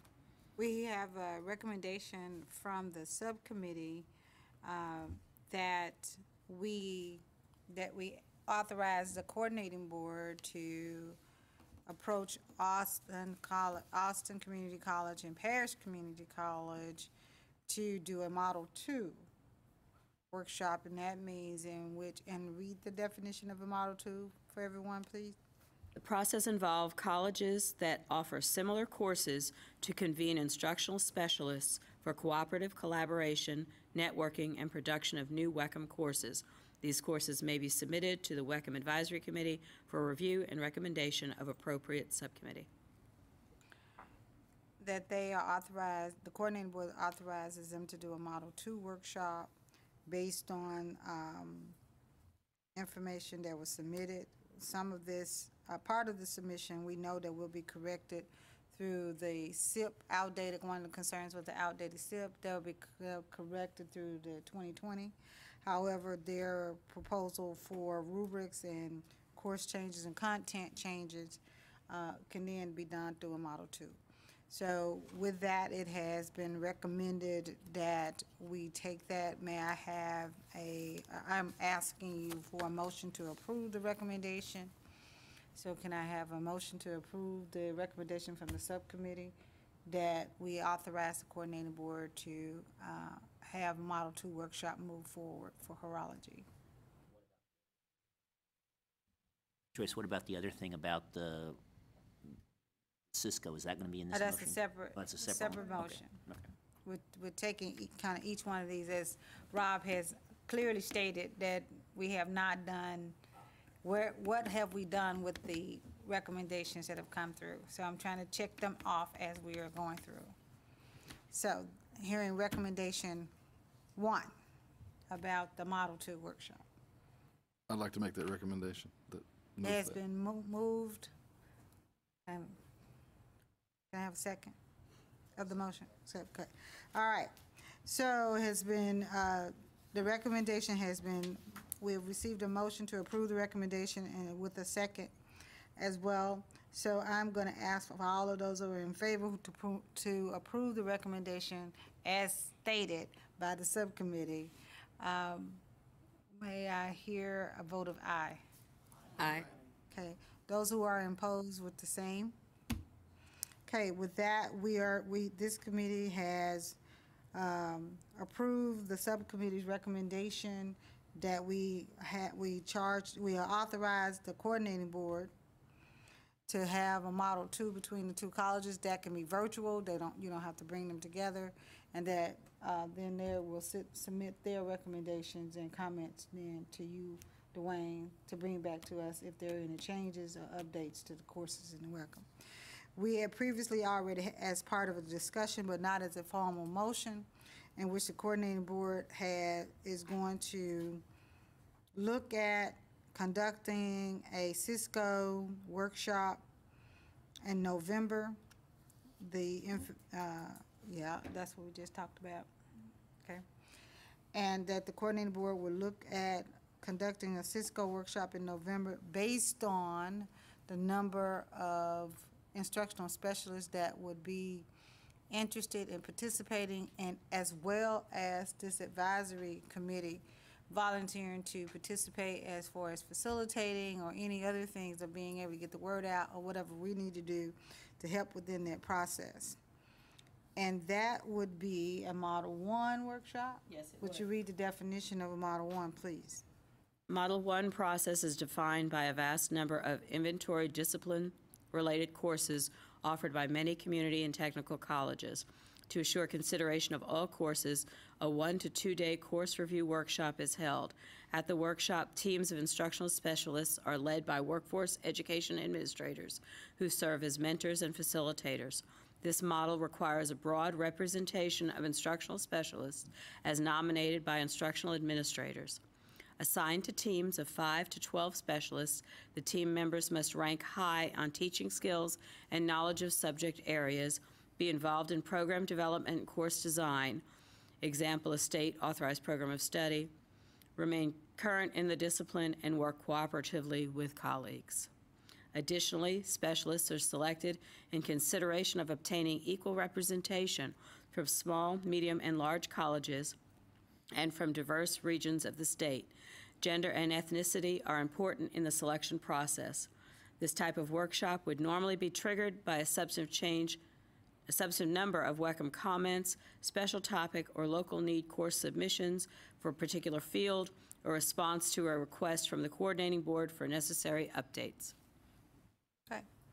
That's what that is. All right. So I'd like to get a motion to approve the recommendation uh, based on, of course, the um, specifics as mentioned prior to, uh, that we, you, that we accept the recommendation from the subcommittee to have a Cisco um, triggered workshop uh, in November, again, based on the uh, specifics as mentioned before. I make a motion, uh, as stated, for the Cisco workshop to maybe take place in November. Joyce, I'll second. Okay, it's been moved and second that we accept the recommendation as stated uh, by the subcommittee. Uh, So with that, I'm going to ask a vote of aye for those who approve the recommendation. Aye. For same vote of no if, uh, for those who oppose. I mean, or aye, for those who oppose. Mary, are you still there with us? Yes, aye. Okay. Okay, then motion passes.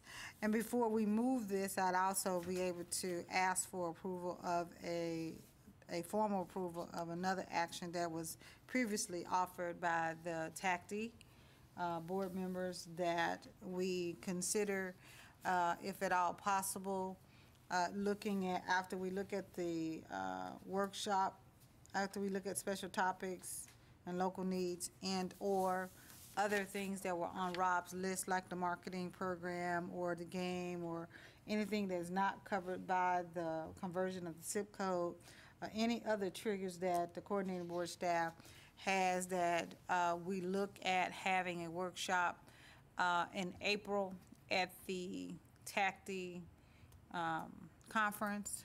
Uh, And I know at one point in time, we usually like to have the same CIP codes that are reviewed, but uh, in this case, if we have many different CIP codes that are being reviewed, then we still have an opportunity to be able to have a, a, a larger workshop where there may be marketing issues over here, there may be IT issues over here, there may be, so different uh, spaces, but we have to be able to let them know because those spaces uh, will require uh, them to be able to ask the hotel for different things or speaking to the coordinating board about prices and funding.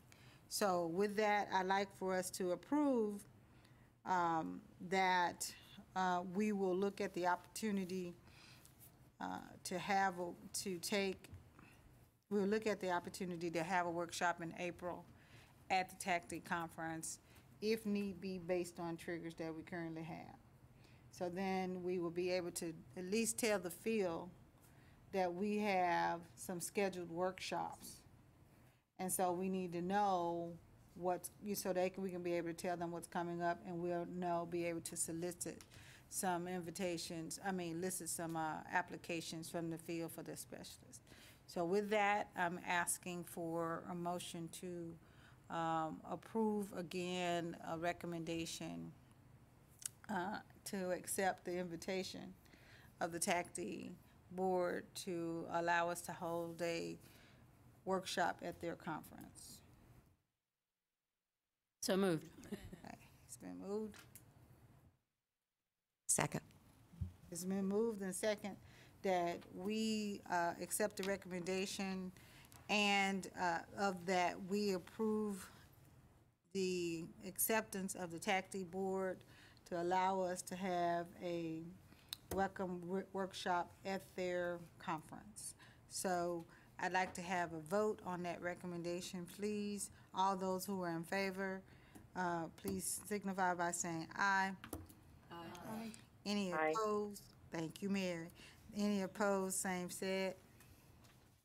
All right, with that, motion, yes. Madam Chair, for the, for the record, just can we also make a note, we need, we will need to know in advance that we can balance rooms and all those other things. Yeah, I, that's what I said. I, s- I wanted to make sure that they need to know, we need to give them further enough notice of what those workshops will be and how many of those workshops will be so that they, you can balance rooms and you will be knowing that based on incomes of the thing. Okay, so with that said, then motion is, uh, recommendation is approved. And so we will put that back in the hands of the coordinating board to help us determine what workshops will be needed in, in April. Um, we know we're looking at November for the Cisco, and we have approved a Model Two for, uh, horology at, uh, between Austin and Paris. So it seems at this point in time, there's not a lot of cost to be incurred at this point, um, but we will see. Okay? All right. See, so Rob, all you have to do is bring it to us and we get the list checked off.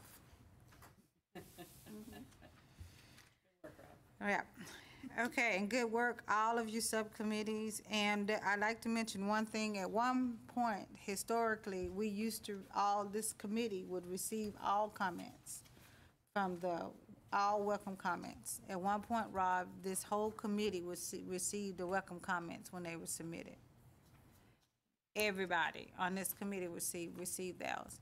Uh, Dwayne has told me that we have not received those in a long time. And so when you said that a new process of being able to have this, have those go out to a subcommittee, um, what I'd like to ask Dwayne is to ensure that he restarts sending us, this committee, the WECM comments.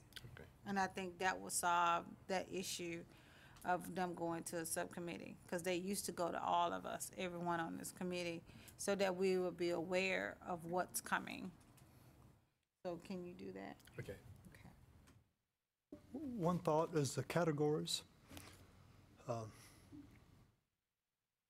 So, so the, the, so the categories, I just kind of made those up, you know? That was in that spreadsheet. No, they're, spreadsheet. they're aligned. So, so you think they're line, line well enough? Mm -hmm, they're aligned with, with, with, um, we- Okay. it's, th- you got three of the ten that we already approved. Okay. Okay, so then Dwayne will send, start back making sure that this whole committee receives the WECM comments. Uh, that will help us, and that will help us decide on what workshops will be done in April, and we can decide quickly enough. We can then help the coordinating board do their work. And I have a comment that I'm going to uh, um, proceed with Mindy comment before, like maybe also the WECM members to receive um, notification when you are sending information to the liaison from the community college, because sometimes they don't provide to us the information, and then we can spread to our proper departments, curriculum office, deans, whatever, they need to be informed.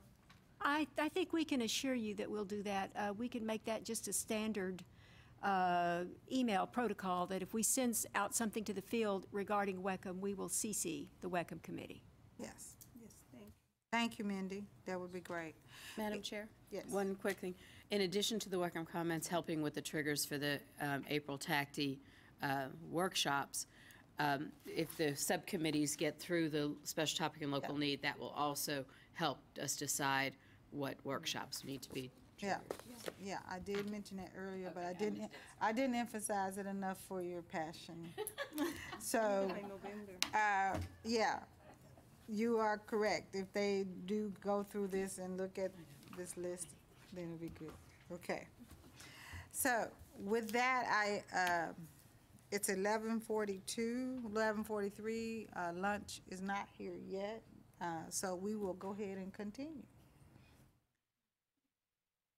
Okay, I'm sorry, we'll go ahead, go ahead and continue. So we're number eight.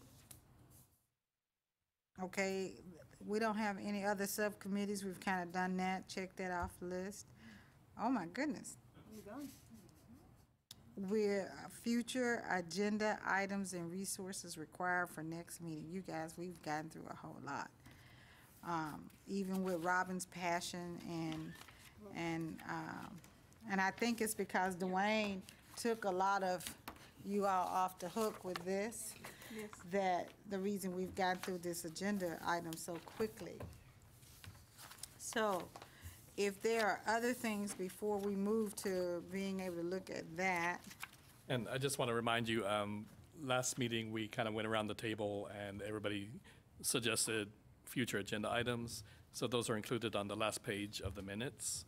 Um, If there's anything, if you notice anything, maybe we didn't have a report about today Oh, that you might yeah. like for the next meeting. yep. I'm glad you said that.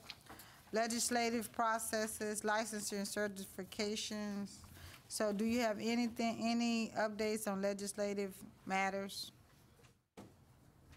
Dwayne, Mindy, Sherry's gone. Sh- Any Oh, update? um, there was a question, actually rather, rather heated discussion last meeting about Yep. the TDLR regulations. And I was tasked with looking up uh, any additional uh, programs that might be affected. I have that list on my computer somewhere. I'll have to look for it. So might want to defer that for a few minutes. Okay, we can defer that for a few minutes till you get to your computer, is that what you're Okay, yeah. Okay. Okay. Mhm. Mindy? I have no updates. Okay. Any updates on Perkins? I certainly do. All right. Um, The uh, Perkins uh, stakeholder meetings are proceeding. Uh, Some of you have hosted, some of you have attended. Uh, These have been a great success. Uh, Our, our event organizer, Sherry, has uh, worked with eight institutions to put these together. And uh, they, they, we are, have just finished the fifth of eight. Wow. Uh, So this, this is, uh, th- this is ongoing, but it, it it is, it is a good source of consultation. Uh, We had a really good regional stakeholder meeting at uh, South Plain, I'm sorry, at uh, Clarendon. We had uh, quite a significant turnout for students at both Clarendon and um, at Tarrant. Uh, we, so I will, you know, I, and, well, and at uh, Angelina, where even before semester started, they got a good group of students out. We have convened with uh, TEA and with other parties uh, on how we will proceed on uh, drafting of the state plan. It will go before TEA, which will be the submitter. It'll go before TEA, bo- TEA's board in November as an outline, the state plan draft. It will be in full draft form before the TEA board in January. It will uh, be reviewed and approved in April and will also be submitted during the month of April to Department of Education. So that's our, that's our uh, stage right now. Uh, We have ongoing uh, the work of development of four model comprehensive local needs assessments, uh, and uh, are in the works with plans to, as we've said many times, uh, develops resources for institutions uh, for their work on their local CLNAs. Uh, That, that, much of that, I think, will be uh, going to uh, the TACTE Perkins page, where we can get it out quickly to the field. So much is happening, stand by, be on notice. Uh, I believe the, and let me just say this, I believe the January uh, version, the draft version of the state plan is the one that will be posted for public comment. Now, don't hold me to that. I, I heard this and took notes at a meeting last week and, and haven't reviewed my notes. Uh, so you'll be wanting to watch for a state plan publicly posted for public comment on the TEA website. And we'll try to get you update on that posting date when, when we can confirm it. So Mindy, Mindy, where are your next three um, stakeholder meetings going to be held? Midland College, San Jacinto College, and Tyler Junior College. All right. Anyone else have questions of Mindy on Perkins, re- re- related to Perkins? Okay. Any other updates um, uh, that anyone else knows around the table about licensure and certification changes other than Cisco? The Barbara? The, the, the bark with the, uh, the one. Yeah. TDL. Oh, yeah, TDL, okay. Rob? Yeah, I'm curious if there's any TDLR status on cosmetology. You know, we all know that's coming, and that was a big I think he's item gonna that was pull, yeah, discussed. but- he's gonna pull, pull those up for us, Is it good? yeah. Anyone else know any other changes on licensure and certification that we may not be aware of, that your faculty and/or industry partners have mentioned? Okay. Okay, so with that, uh, do we have a time scheduled for the next meeting? A date? Uh, That's what I'm saying, yeah, it's just in the minutes. Okay, future meetings scheduled Jan- September twenty-seventh, January thirtieth, April thirtieth, and July thirtieth. One of the things we probably su- should suggest, I mean, should, um, think about, and, uh, and you all definitely can follow up with me later, but we should think about is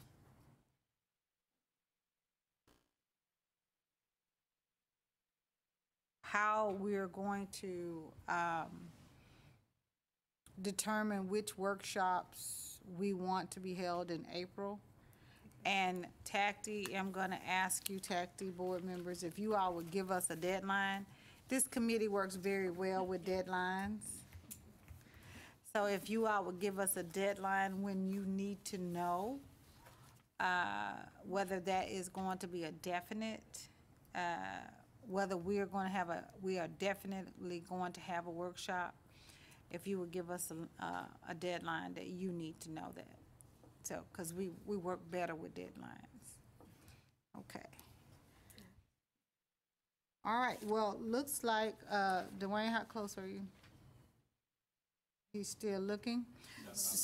Mm-hmm. Okay, he's. still- As Dwayne looks, let me let you know that lunch is here. Uh, We might want to break for lunch and give Dwayne time to. That's what I was gonna say. We're gonna break for lunch, since Dwayne hasn't yet found it. We'll break for lunch, then we'll reconvene for the report out from Dwayne. So at this point in time, those of you who are looking, uh, there'll be no broadcasting during lunch. So we're gonna break for lunch for about thirty minutes. That should get it? Yes. So we're gonna break for lunch, uh, for about thirty minutes. It's now eleven fifty-two. Okay?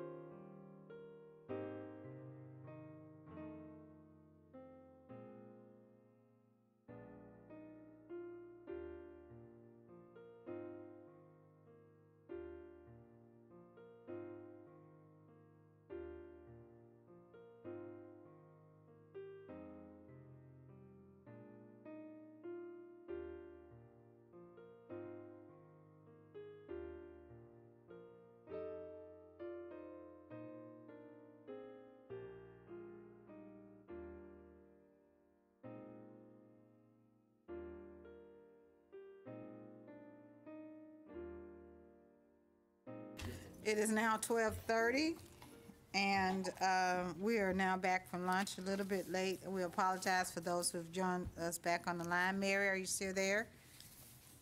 Okay. Sam, I'm here. Thank you. Thank you, Mary. I appreciate you. Okay.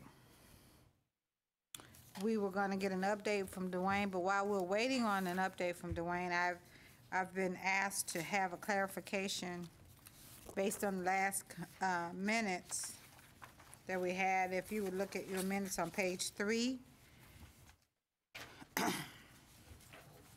So that we can clarify who's on the subcommittees the membership on subcommittees, we do know, if you leave, look at the bottom paragraph, we do know that Vernon Hawkins subcommittee consists of the um, TACTE representatives and the regional representatives of TACTE that will be reviewing the non-credit special topic and local, uh, local need courses. Then we had the uh, course review subcommittee for professional development courses.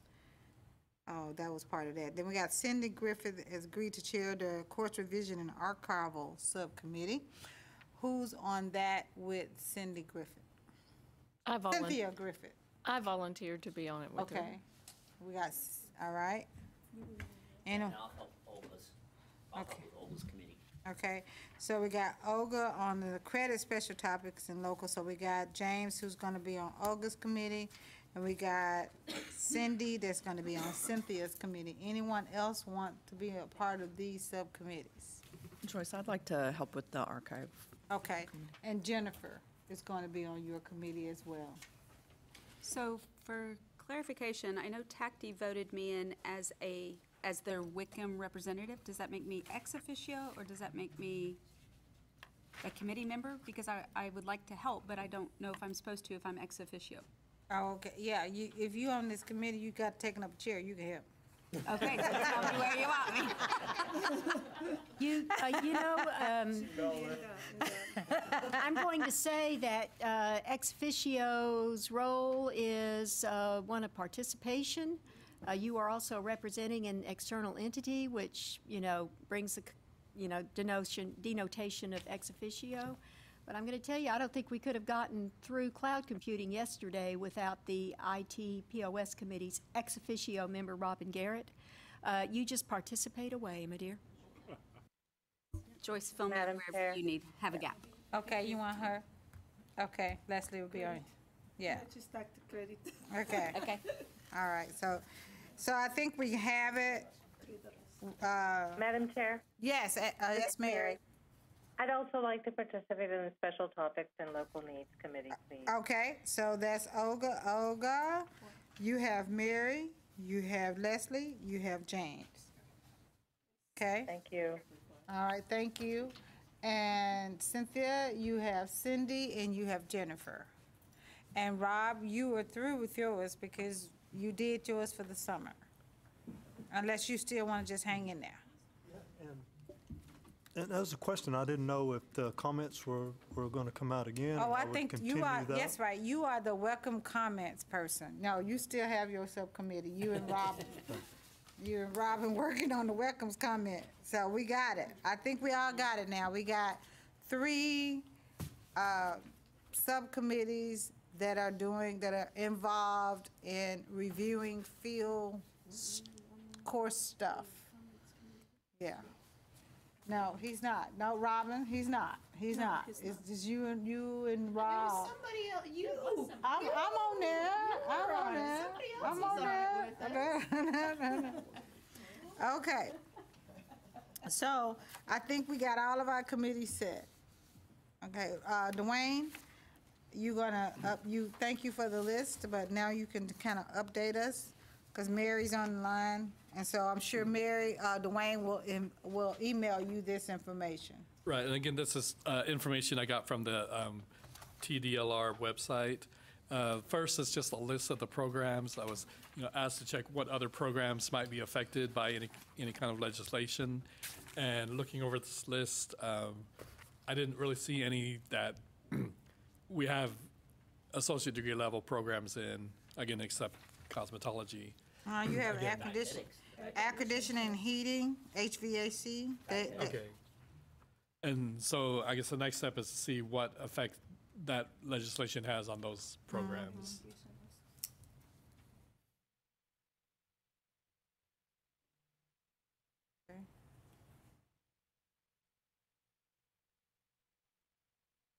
oh yeah, you got it, static right there.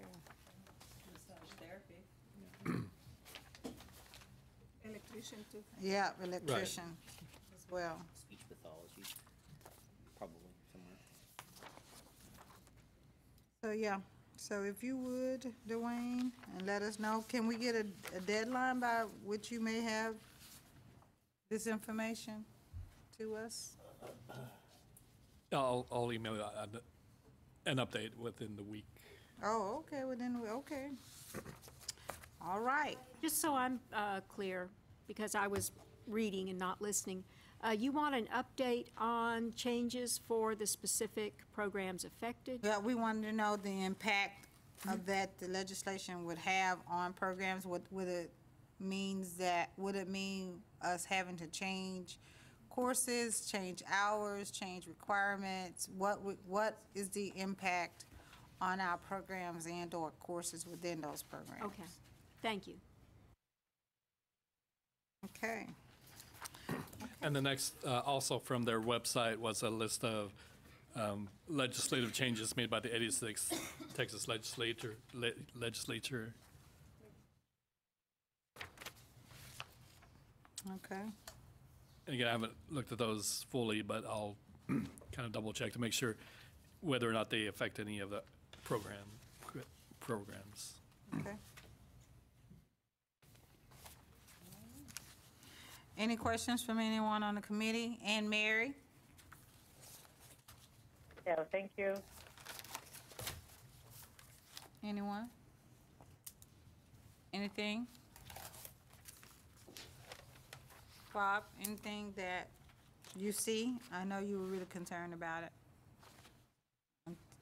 Nothing?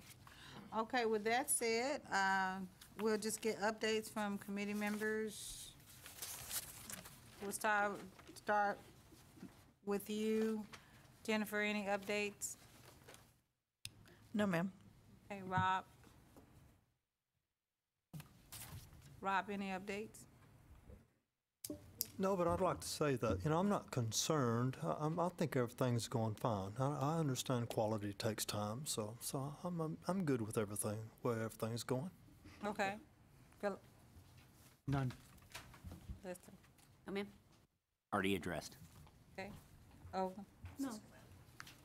Dwayne? Nothing so far. I've, I've expressed my. Cynthia? Vernon? Uh, no, not at this time. Mindy? Um, No update. I want to thank the committee for bearing with us during this time. Um, We have a time of loss, we have a time of transition. Uh, We look forward to continued and increasing uh, cooperation with and support of this committee. Okay. Well, with that said, then we are joined at, what is it? Okay. Can I get a motion to, to uh, adjourn the meeting? I'll make the motion. Okay, it's been moved. I'll second. Second. That we adjourn the meeting at 12:39. Thank you all so much. Safe travels. Oh, so fast. This one take us a lot. Yeah, Right? it's okay. Let it ride. If Dwayne had his stuff ready, we would have been out here at 11:30. No, you guys, really, you're really fast. I- I know. You're really effective.